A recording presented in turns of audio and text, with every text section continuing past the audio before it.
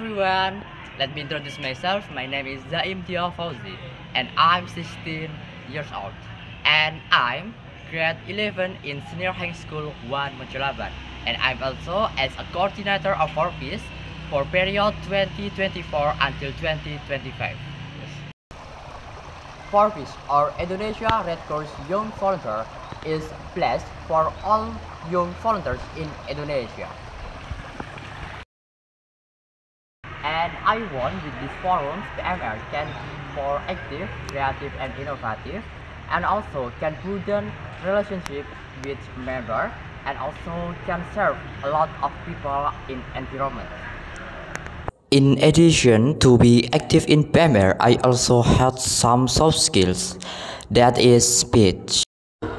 Okay, good evening ladies and gentlemen. In good occasion, I will deliver my speech. And the title of my speech is The Importance of Internet.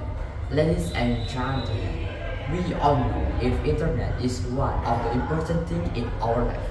So without internet, we don't live because all of information in this era is from internet.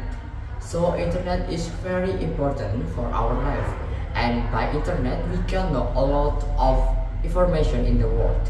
Maybe want to know what information in sports or in politics or maybe in economy, of course you want internet. And you know ladies and gentlemen, by internet you also can study or learn in everywhere and every time. So it can make internet is very important in modern era. And that's. Thank you. I want to show some of my achievement.